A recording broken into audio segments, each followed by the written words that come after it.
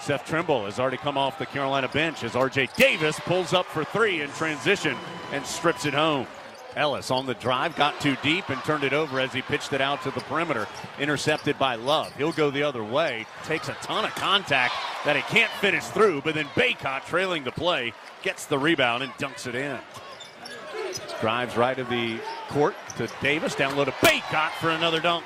Bounces over in the left corner to Trimble. Drives, kicks, Davis open for three, in and out. There's D'Marco Dunn, though, for the offensive rebound and stick in to Ellis. Drives through the paint, comes up short on his jumper. RJ Davis on the run, gets the rebound, bounce pass to Bacot in transition for the left handed layup in the lead. In the post to Roosevelt Wheeler, falling out of bounds, and his pass tipped and intercepted. Dunn, tough bounce pass to Styles, who brought it in and then threw it home. Dunn now Davis deep on the left wing. Well, it's going to turn into a mile long free. Count it, RJ. Yes, had a tough day shooting, just one of seven. Puff Johnson, can he get this three? Yes, from the left corner. Bacot now with 11 rebounds as Davis in traffic up high finds Johnson. He'll try another triple. Yes, sir.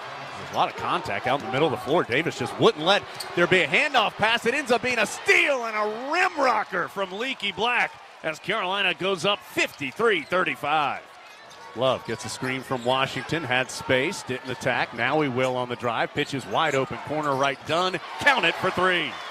To drive right down Broadway. Sends it in the corner to Black. Out to Dunn. Heel's got to shoot it. Dunn will fire the three and knock it in from the top right. Well, that's a biggie. See if the Tar Heels set up in the zone. No, they're going to pick up in the man to man after Louisville had the transition opportunity and they get a steal. Into the hands of Black. He'll pitch ahead to Dunn for the right handed hammer.